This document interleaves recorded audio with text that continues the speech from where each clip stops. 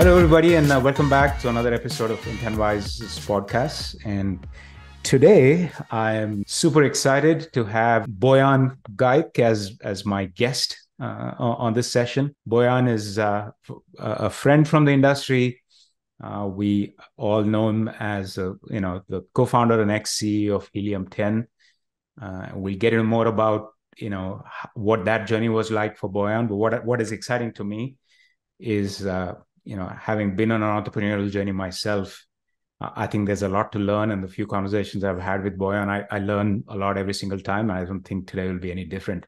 Bojan, thank you for joining me. Thanks for having us, Srinivas. And uh, just uh, we're also neighbors. Like we, are sort of friends and, and industry friends, but we're neighbors, which uh, which is a nice thing. So we can we can share the lovely weather as it is in Southern California today. So uh, for those of you who are not in Southern California, I, I, remember you your uh, uh, one of my, your first messages to me. Hey, let's meet in person. Yes, let's meet in person. yeah, the world. It's nice when, especially post COVID. It's sort of, it's nice when you have sort of personal interaction. When I saw that you're in San Diego, it's like, yes, there's a guy I want to meet in person. Yes. So so you built one of the most well-known software brands in our space, which is Helium 10. Now, first of all, congrats. And and that must feel extremely satisfying.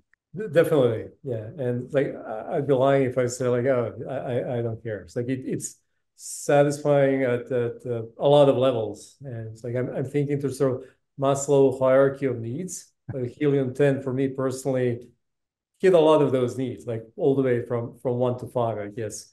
Uh there's some material side of things. So yeah. it was uh it, it was not a bad kind of business. Right. Uh, so there's there's a there's an element of satisfaction there, right? You you make some money and and the the life becomes sort of uh, more convenient. Like you go to Disneyland and now you can buy fast pass, so you don't have to wait in line for an hour and a half, like sort of, woo. or like you go see a, a game. Now yeah. you can actually see a game with your own eyes as opposed to bringing binoculars and like you're in nosebleeds and something's happening out there. So there there was an element of that that uh, not not sort of the most uh, the most satisfying thing. Like you, you you go through kind of different levels there. Like winning, I I I I would lie if I said like just kind of being su- successful is not is not satisfying. So yeah, there is friendly competition in space. Uh, we're all providing value. If I can provide value better than someone else, I sort of feel good about it. Like no, like I, I don't I don't pretend that that doesn't matter. Uh, building okay. building sort of creating value. It's like when, when you're a child like putting putting pieces together like assembling a puzzle uh, putting legos together though i was never really good at that. It's like it it felt good to sort of build things. Like have the, have the resources have the capability have the team have the opportunity to build things. So that also felt good.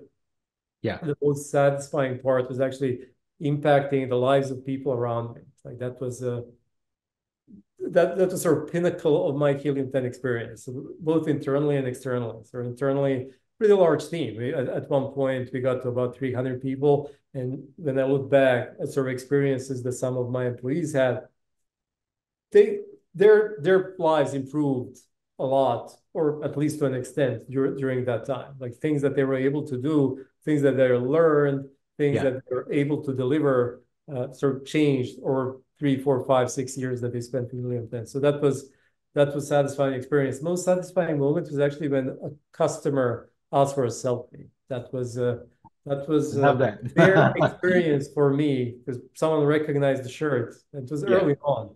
And yeah. asked for a selfie. That was kind of awkward.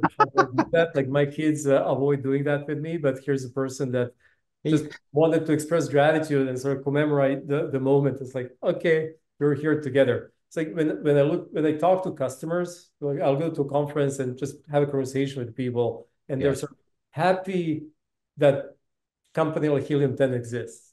Yeah. It makes me happy. So so very satisfying in a lot of ways. Leaving Helium 10 was like it, it was not an easy decision, but mm. it was it was good decision. Because yeah as as uh, as you know, things have changed as as Helium 10 grew and, and as businesses grew, like grow, things change. Uh, Helium 10 acquired 2019 by Assembly. So back in the day, two people, Sandeep and Adam, very talented, very ambitious, very skilled. They invested a lot in growing the business, kind of expanding assembly. Yeah. 2021, Factory joined assembly.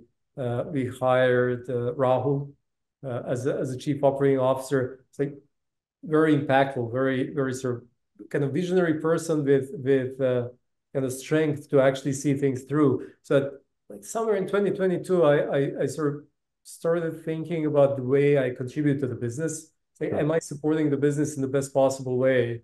And am I getting out of the business the satisfaction I want to get out of the business? So, Yeah I sort of realized that in, in a lot of ways, I'm sort of holding people back. Like, a lot of smart people join the company.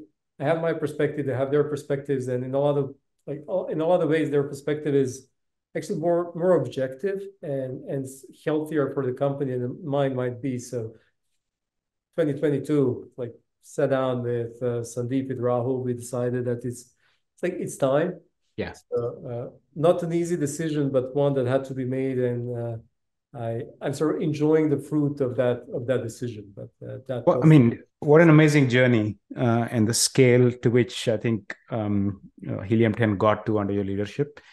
I'm I have so many questions about that, uh, but before we go there, you know, share with us. You grew up in Serbia, you're now in Southern California, built an amazing brand, and you're going on to the next gig. Just walk us through that journey. Show us a trailer. Um, uh, I had I had plenty of time to sort of put pieces in that trailer, so it could be kind of full-featured movie.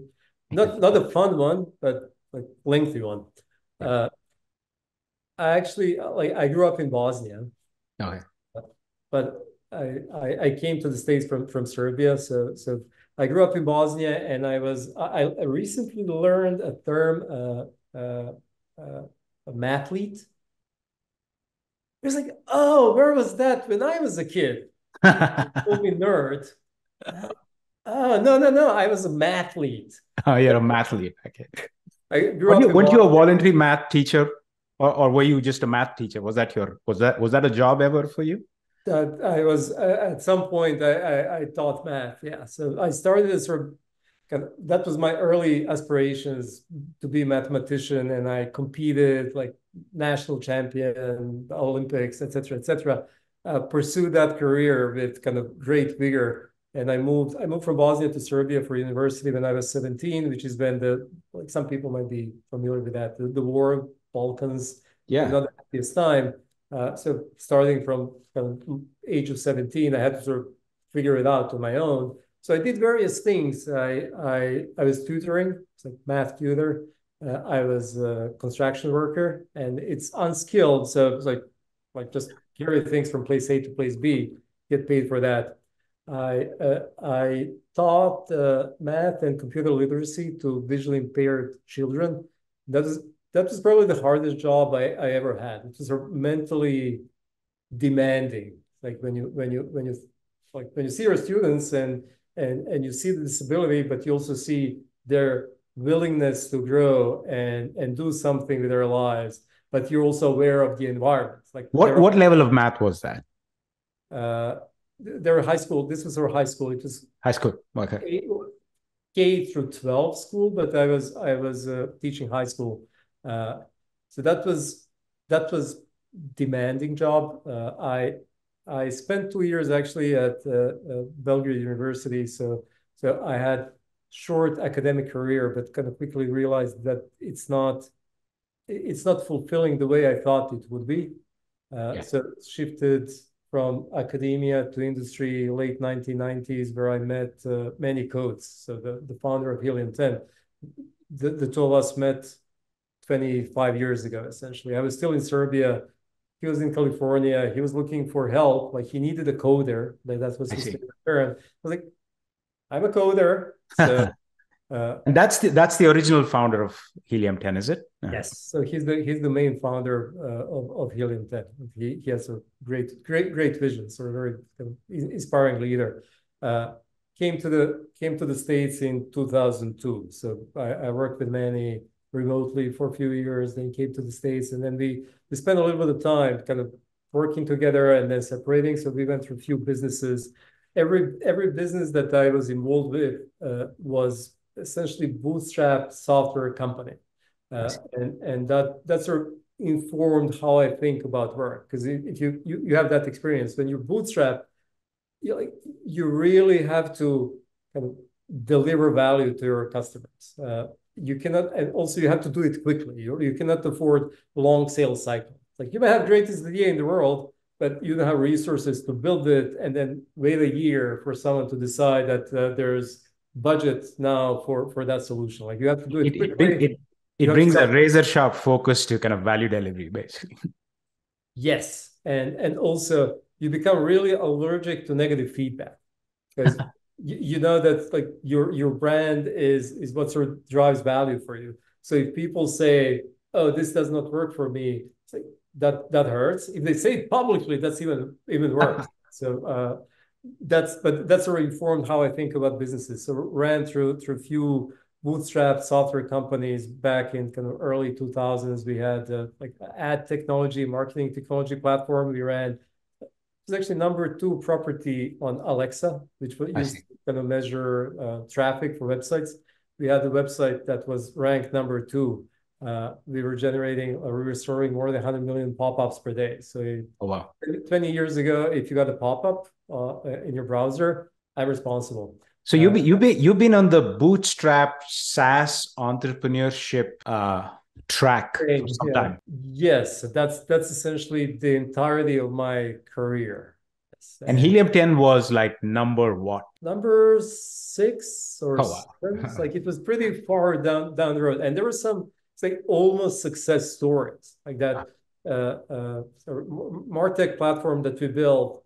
We had conversations with public company acquisition, and mm. then dot com bubble bursts, and all the businesses just disappear. So, so the deal that we had was uh, equity only, sure. and that equity was worth exactly nothing six months later. So it's like you think, yeah, this is success. oh no, it's not. Then we went to uh, so like a, a, consumer desktop software. Of, yep. You can look at the opportunity. You can hear what people are talking about, and you jump into that. Uh, and consumer desktop software, 2003, 4, 5, 6, there was anti-spyware, anti-malware, like just sort of uh, productivity tools for for uh, Windows desktop. And we had a nice kind of run. We we grew that business uh, to sort of five plus million in in uh, ARR. Uh, conversations around uh, so getting funding, growing faster, and then our sort of aggressive marketing and aggressive sales caught up with us. So something happened there where kind of outside my control, outside our control. Uh, we lost sort of two years, and and that led to sort of ultimate demise of that business. You you might have a good product, you might actually have sort of quality service that you're delivering. You might have a like strong go to market, but then you miss something. Like the market changes underneath your feet. Your the, the timing is wrong.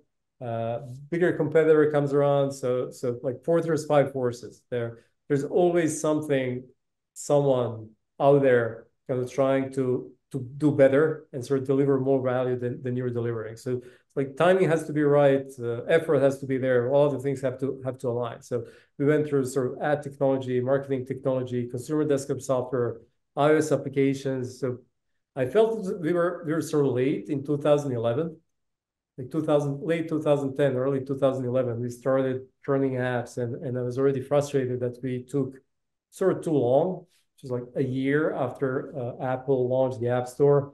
Like hindsight, that was actually opportunity to double down. But when we moved in that direction, I was not, I was not sure if the growth potential is still there. It's like I thought, oh, we're, we're too late to, to this market. So we didn't really embrace it fully. And then we, we sort of paid the price. Like we sort of continued, built a lifestyle business. A lot of these businesses got to the point where there's enough value where you can kind of roll it into another business. You start a new product, you start a new service line, kind of shift a little bit. You build a lifestyle business, but not not the one of size or Helium 10. So Helium 10 came at the end of sort of that journey that had multiple milestones and multiple uh, questionable successes. What what what what put Helium 10 on a different path for you? Like, uh, and perhaps you can talk about like how did it start, and when did you realize okay you're onto something big that's just different from your past experiences? The, Manny, Manny and I talked about Helium 10. And get, by the way, for the benefit of the audience, Manny was your co-founder. yeah, Manny. Manny so, so he's like we, the most most of the businesses that I was involved with uh, were kind of envisioned by Manny Coats and sabotaged by me. envisioned by Manny Coats, sabotaged by you. so, yeah. so he's, he's the guy that will see. It's like he will see the shining object top of the hill. It's like let's go and get it. Yeah.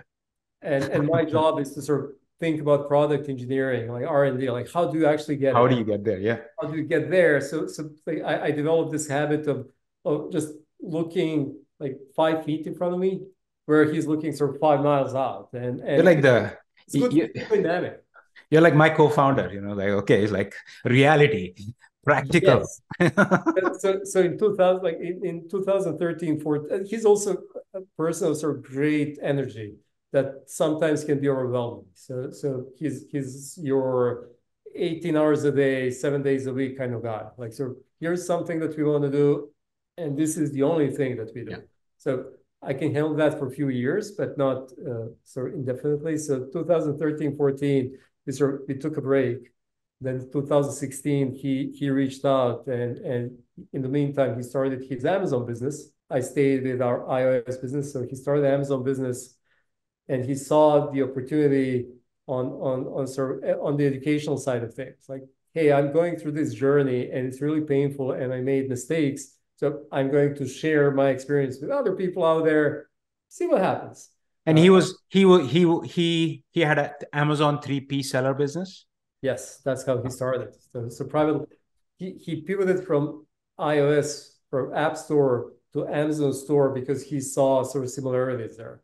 So when you when you look at product listing and then you when you look at app listing, and the same thing. Like here's a title, here are a few images, here are a few keywords you all you need to sort of drive demand, put something on the back end to, to kind of meet that demand. That's it, like sort of rinse, repeat. So sure. He, he pivoted from apps, Apple App Store to Amazon product store, uh, uh, 3P store. Uh, and uh, he reached out in 2016. He moved to Irvine. I was in San Diego. And he wanted he wanted us to talk, like, hey, I have this idea, and there could be software here. I was like, sure, come down to San Diego, let's have a dinner, let's talk about it He says, no, no, no, you come up to Irvine and let's talk about it. I was like, dude, you need me. I don't need you. like you come down to San Diego. And that was the end of the conversation. Like he he wouldn't he wouldn't drive down, I wouldn't drive up. So that was early 2016. I was like, okay, whatever. It's like your problem. And you didn't it. meet. You didn't meet. So we did not that, that moment. We did not meet 2016. We actually met early 2017. It's like a year later his need was kind of more intense. Like, hey, I, I really need you. And I I was in this sort of lifestyle engagement where I realized that I'm sort of projecting my aspirations to the rest of my family. So I would leave work at 3 p.m. because I can. It's like it's yeah. like money is just sort of coming in, uh, AM, PM. Uh, and then I, I, would go pick up my son, and then we would go to the field, soccer field, and we would work on skills. And I would I would watch videos. I, I was never sort of big football, like big soccer kind of expert. I became one. Like I, I got coaching license, and I realized like, this is probably not healthy for either one of us. So he should do his thing. I should probably go do something else. So yeah. so when Manny reached out in 2017, like the timing was much better. Uh, and uh, I also caved, right? So so I, I drove to Irvine.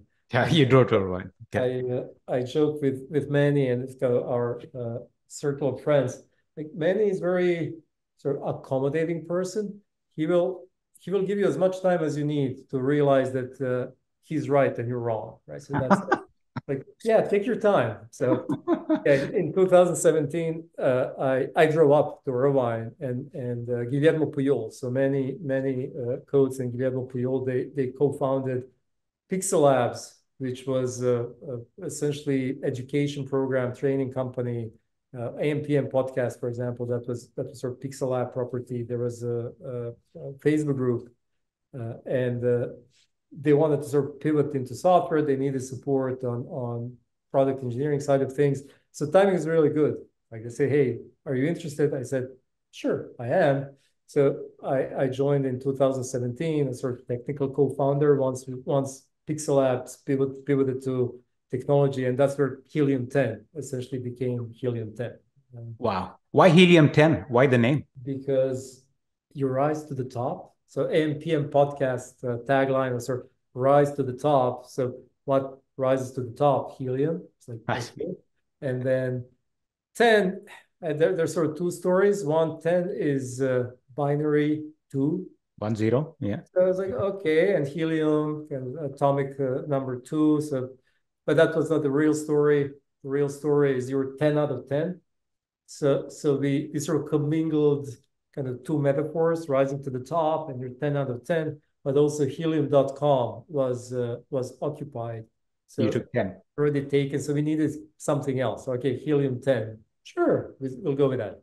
It's pretty I actually happy with, with branding because early on there's this sort of desire to explain who you are with your name. So you're you become amzresearch.com which kind of limits you to what you were initially. So it, it takes a little bit of effort to build a brand, but it's kind of domain agnostic brands usually easier to build and support, like Nike. Mm, doesn't really say I'm running around in, in full shoes. Yeah.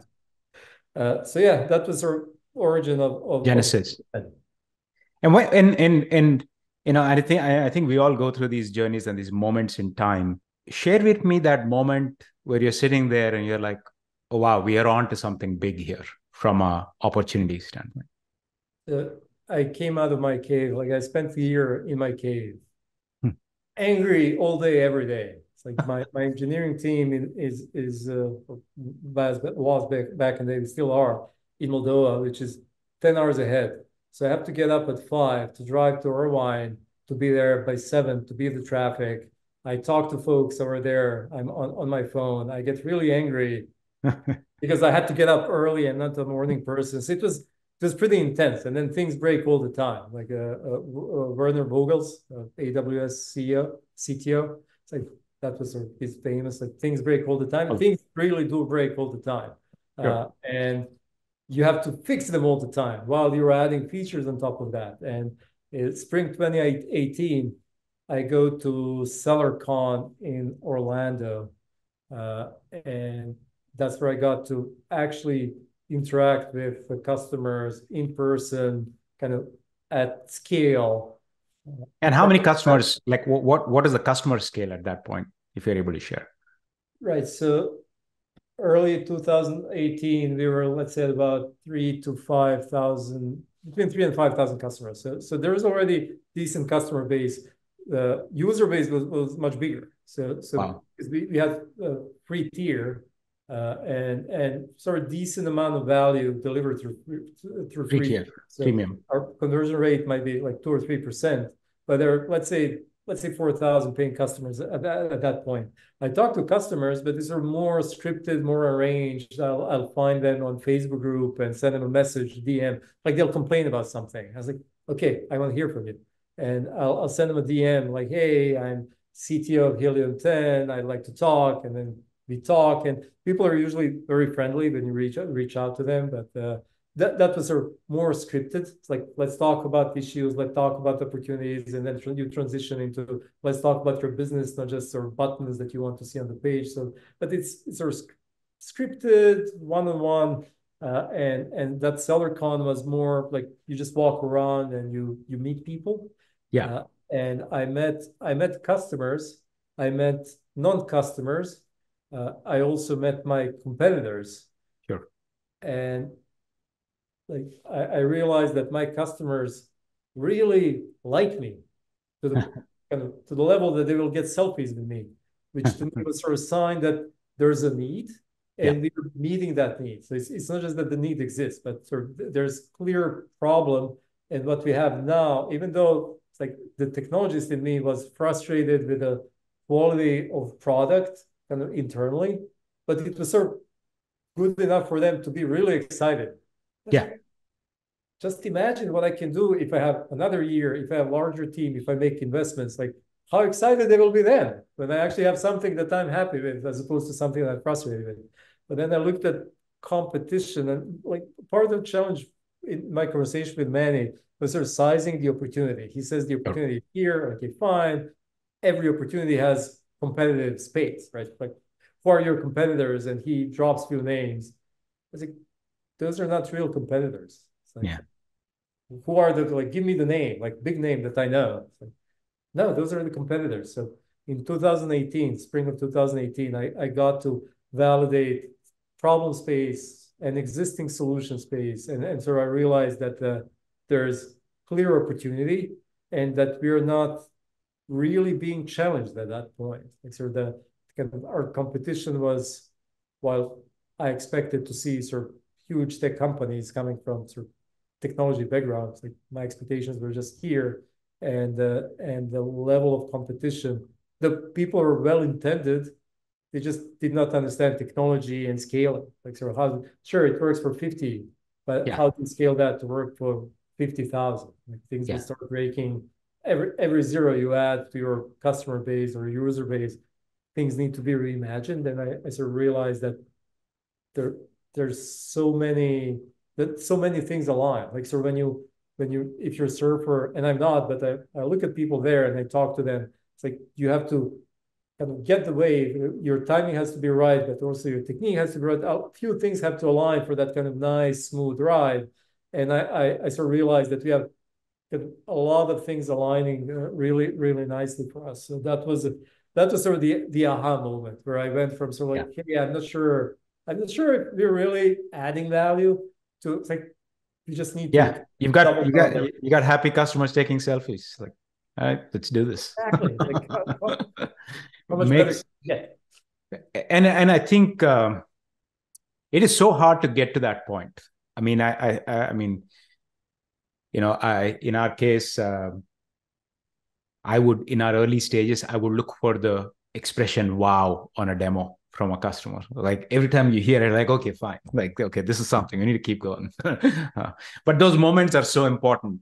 You know, uh, you can you, you feed off of that, right? Like that that gives oh. you like as an entrepreneur, you always kind of I mean maybe not maybe you're not that kind of person, but I am. It's like there's there, there are moments of doubt. Like, are we really on track? Like, is this time to pivot or is this time to double down? Like, are we are we are we really hitting what we need to hit? Is this like when you yeah. think about usability, viability, feasibility, like are we hitting all three? is there value? It's like, sure, yeah. we can do all three, but there's no value. It's like there, there are sort of there are dark moments, and yeah. then there are these sort of kind of uh, sparks of energy. Sparks of, yes, like a lot of lights, like you need them, and tiny they, lights that kind of feed you and kind of illuminate the path. So, so that's hundred percent. One uh, one question I have for you, uh, Bojan, is uh, I just find that like every entrepreneur has their unique edge. There's something unique about them. Certainly the successful ones, right? What's yours? And, and they don't like the funny thing is you you don't become successful entrepreneur until you fail a lot of times. a lot yeah in most in most instances you fail more than once True. Uh, but then they will it's actually those failures that make you more interesting. Like that, that's where you add value. Like if you if you try and you you hit it out, out of the ballpark on the first try, like that's great, but it's hard to really kind of uh, condense that into into useful and usable insight, right? But you don't you don't get the attention until you hit hit it out of the ballpark, right? Yeah. Very very few people will talk to a serial no, entrepreneur. It's like, oh, you failed so many times yeah, come back when, you, when you're successful. Uh, in my case, uh, you so like what's the what's the unique edge? My unique edge is is sort of dull. So that's my no. Uh, like I what I don't think there's something something sort of magic or dramatically different with me than than sort of every other person out there trying to kind of win it and solve the problem in, in a new creative way. But I, I sorry, I enjoy pressure. I will, mm. I will, if there's no pressure, I will create pressure. It's like I'll set arbitrary uh, deadline just to sort of create pressure. Yeah. Uh, that like ability to sort of sustain pressure and enjoy pressure in a perverse way. That's, that's important if you're an entrepreneur. Yeah. Life is sort of unpredictable. And, uh, and over long stretches of time. Yes I I sort of embrace uncertainty because like you, you, when you're making a decision, there's a there's a there's data and then there's intuition and uh, like you're most comfortable making a decision when you have 100% of data that you want to have in order to make a decision but i actually I, i'm comfortable making a decision before i have sort of full confidence that uh, this is sort of the, the right decision is I, I, sort of embrace uncertainty i'll try to make it and structure it in a way that it's sort of two-way door as opposed to one-way door it's like, okay, let's let's jump, but let's make sure that we can sort of return if we can. But I'm I'm okay with sort of uncertainty. Like we'll figure it out. Like, do we have everything we need? Like, do we have parachute? Sure, let's jump. And it's yeah. like, okay, we'll read the instructions on the way down. It's like we'll figure it out.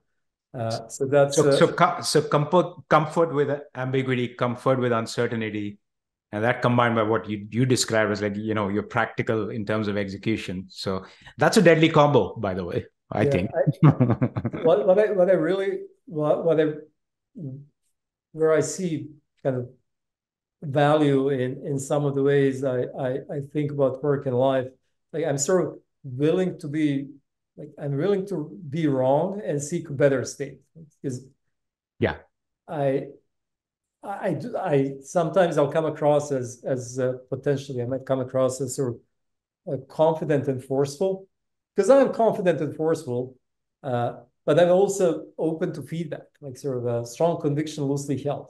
Like yeah. if if you disagree with me, like I listen to you, and more often than not, I was like, okay, this this is new information. I didn't have this information.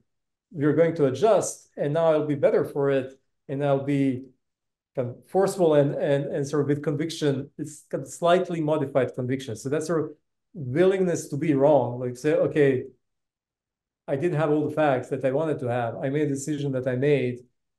What's the best decision I could make based based on, on sort of amount of information that I had.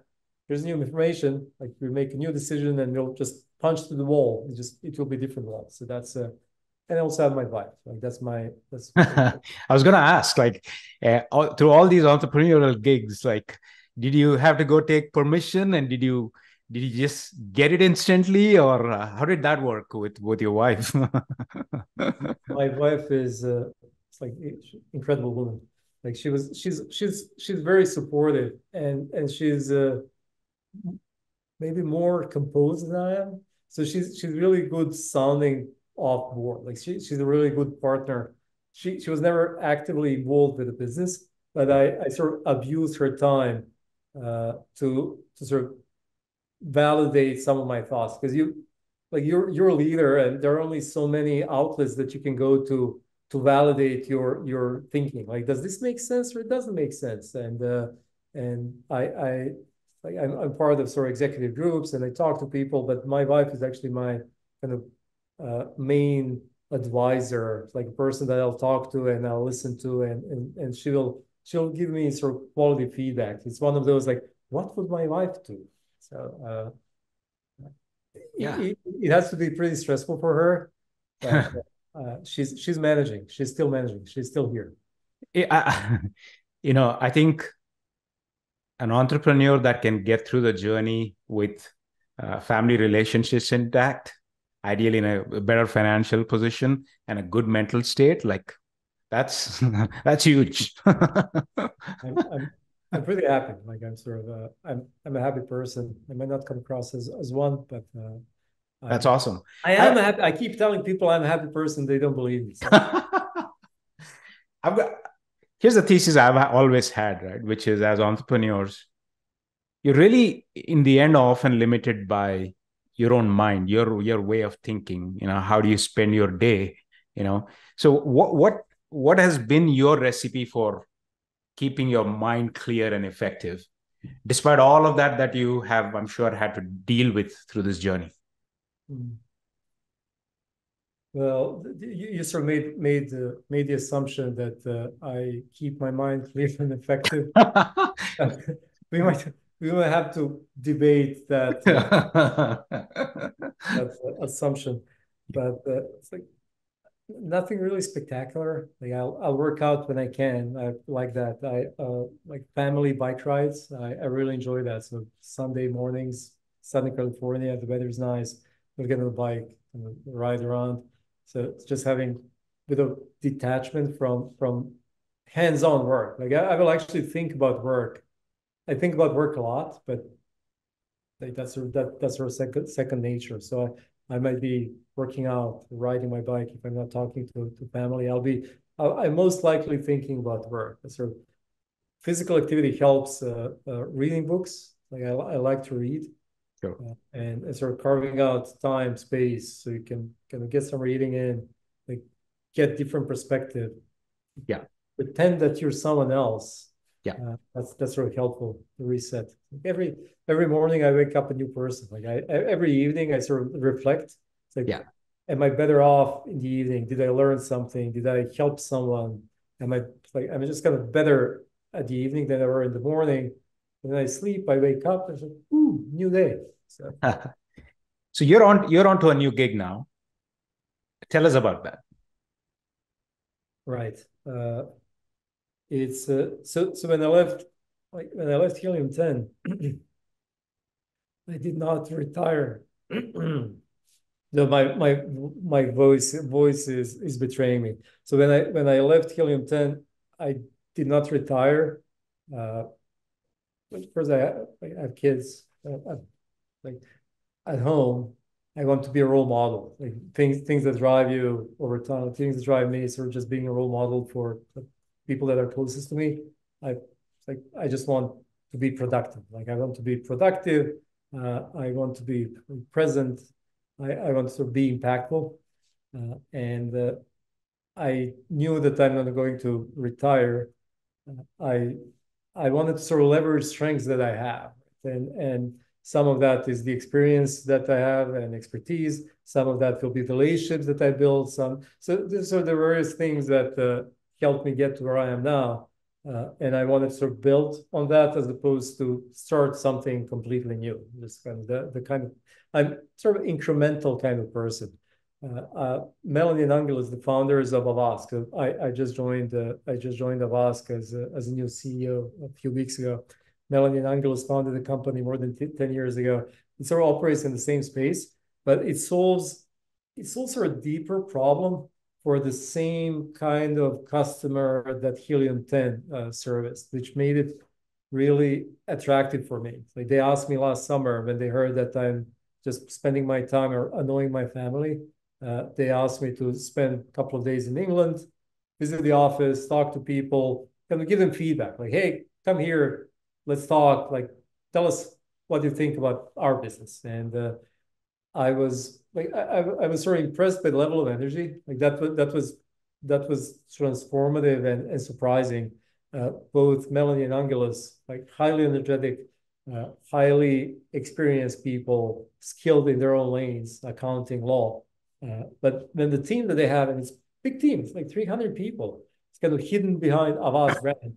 Uh, a lot of like and, and can you describe can you describe what Avask does? Just yeah. in you know brief summary. so, uh, Avask Avask makes like reduces friction for for cross border expansion. So when you think about uh, expanding your your or growing your business you can you can capture more customers in the existing market or you can expand into adjacent markets. So when you if you're a US brand and you want to grow 20% next year you're going to make an investment uh, and you're going to buy more ads on Amazon, or maybe you're going to launch new products, or maybe you're going to move your products to a new channel. So go Walmart or build your D2C brand. But one of the one of the ways to grow, especially if you if you if you already sort of established pres presence and, and saturate the market to the point, is to uh, expand globally.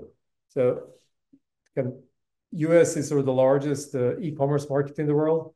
Uh, Europe is actually very close second. When you when, when you think about Europe, it's sort of 80% of uh, of uh, GMV uh, on on sort of 15% or 20% more of of uh, audience uh, than than US.